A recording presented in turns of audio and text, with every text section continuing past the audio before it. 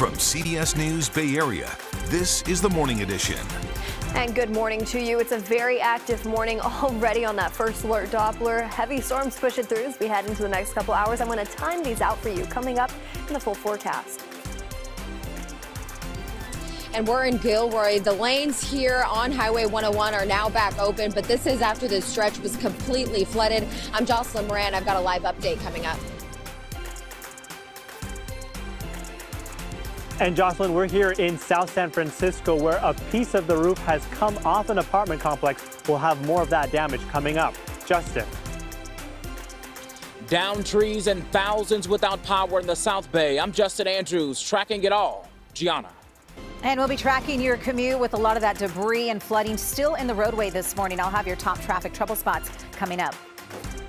And later, President Biden facing some sharp new questions this morning why his handling of classified documents is getting the attention of the Justice Department. But first, we have declared another first alert weather day.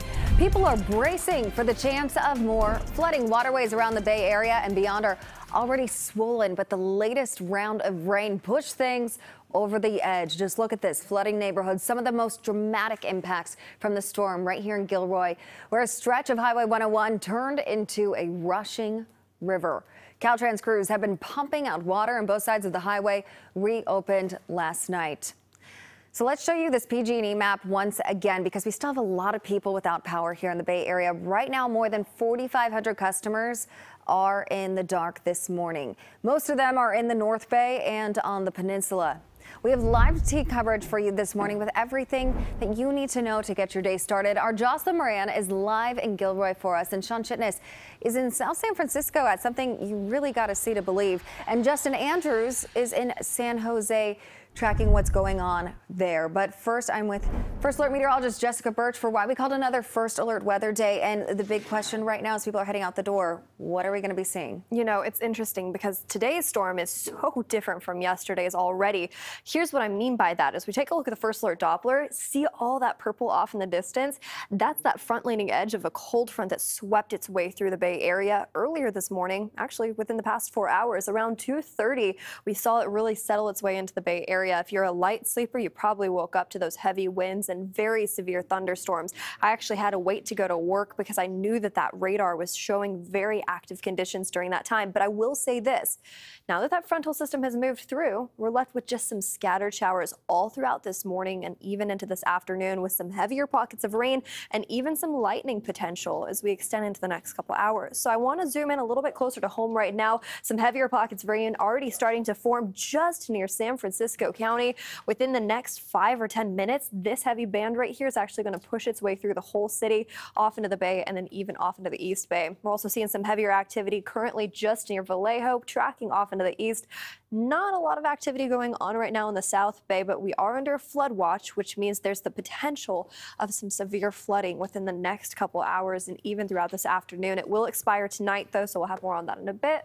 For now, does that impact the roads? How are things looking? Yeah, we still have some closures because of the flooding, like Highway 37, parts mm -hmm. of the South Bay as well on 87. So if you're getting ready to get up early, head out the door for your commute, definitely be careful out there. It's a little windy, and there's a couple things you definitely want to keep your eyes peeled for because it's still pretty dark out there and you come up on these trouble spots very quickly. Here is a live look at the Bay Bridge. We are certainly starting to see more and more people on the roadways for that morning commute with those metering lights on as you head into San Francisco, but you are still dealing with slick surfaces as well. So be cautious. Let's talk about some of these closures. Westbound 37 between Atherton Avenue and 101 Novato Boulevard. That's as you head westbound. That is the commute direction towards 101. There is a traffic alert in effect. That is closed due to roadway flooding. Stick with the Richmond San Rafael Bridge as an alternate. If you're taking uh, that connector from 80 westbound from Highway 4, there is a trouble spot there, and it's actually blocking that connector road. So 80 is really backed up as you work your way into Hercules this morning, almost to the Crockett area. So definitely give yourself some extra time there.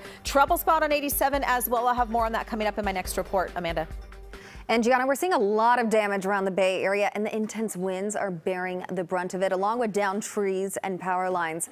Sean Chitnis is in South San Francisco for us live this morning, where the wind really played a role in some damage you're seeing there.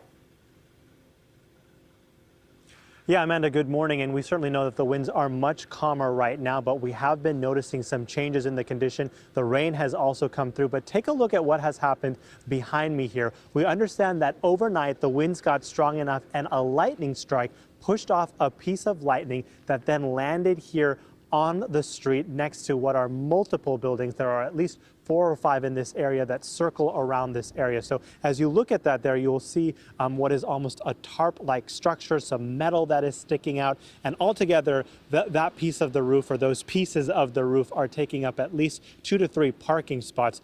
Uh, we know that the fire department came through here overnight, so it may be the case that they were able to push this aside so that cars can still continue to move through this area. There are several cars that are parked uh, in this street that surrounds multiple buildings, and it looks like like all of them um, were able to avoid any damage. From a neighbor who was walking by earlier this morning, he explained to me that his understanding is that there are folks that were inside the building at the time when the fire department came through. They were informed that they were encouraged to evacuate but didn't have to. Um, in the hour plus that we've been here, we haven't seen anyone coming out. But again, really significant to see such a large piece of the roof just sitting on the floor there. And at least so far, it appears that no a person was injured and no additional property damage that has happened beyond what came off of that building.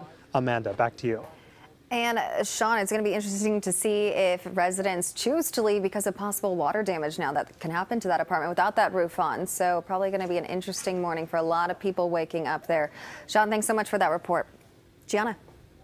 All right, thanks, Amanda. Severe flooding caused a stretch of 101 to be completely shut down for quite some time yesterday. In fact, cars were almost, you can see that in the video there, completely submerged in water. It was a very scary scene for anyone who was caught in that situation. This was right during the afternoon commute as well. Our Jocelyn Moran is live with us this morning in that area. Jocelyn, the good news is lanes are open, but how have homes been impacted in that area? Yeah, Gianna, we know people were impacted in this area. It was a very scary situation, whether you were driving along this area or you live in this area. Before we get into that, I do want to mention that we did just get a downpour of rain about 10 minutes ago. Now it is a little bit sprinkling, but now again, these uh, roadways are wet. So this is Highway 101. We know it's looking pretty differently than it did yesterday. Uh, this is a major stretch because a lot of people use it, you know, to commute, as you can see here. So you can you can imagine just the impact that this had. I want to take you to some video now. You can see at least one home here that was completely submerged in water, cars around it also submerged. We also have some more video of Highway 101 and what it looked like yesterday. And you can see why it was forced to shut down. Cars were diverted and forced to take city streets, only to see that some of those were even flooded as well. Now, thankfully for the homes, authorities say they were able to go into this area and check on residents and say they had safely evacuated. Uh, uh, evacuation warnings were issued in this area, even in Hollister. Our crews met this family here. They have a mini horse, goats, and a donkey in Hollister, and they headed out when their home started to flood. Been hell getting over here. We almost did this a few nights ago, but when we bought the property, we raised our levees up around us, another 16 inches. So we're way above everybody else, but we never thought it would come in from the backside of us. And Everett says they've never seen anything like this before, so he safely got out, but obviously a scary situation. Uh, thankfully, the break in rain yesterday gave crews the opportunity to really take care of the flooding that was in this area. Again, we did see some downpours of rain overnight and into the morning, and like I mentioned, we saw one right now. But thankfully, as we can see, at least in this area, no heavy flooding, especially compared to what we saw uh, yesterday. But again, just driving on 101 going southbound, there is still a lot of debris in the the area. So just want to be extra mindful of that, Gianna. Yeah, what was so tough too, Jocelyn, is they didn't even have an option to use alternates with all of that flooding extending over onto surface streets. And right. that is an area mm -hmm. a lot of super commuters use. Mm -hmm. Yeah, exactly. And we can see it this morning. A lot of people are using these roads. Yeah, it is a busy route for sure. A lot of people head to Pacheco Pass that way. All right, Jocelyn, thank you so much. And stay with us on this first alert weather day as we deal with damage across the Bay Area. You can find us on your phone's app or on our website at kpix.com.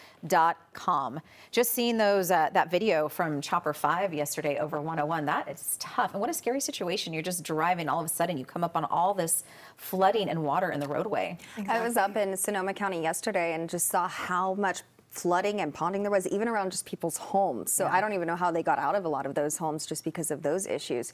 So definitely something we're going to be seeing for a couple more days as well. And Jessica, we saw a lot of the storm come down for our commute. You said it's not going to be as bad later, You're but still. right. You know, so this frontal system came in at a really weird hour this morning, around 2, 3 a.m. Now, what's left is just some major heavy pockets of rain, some lighter conditions too. Let's take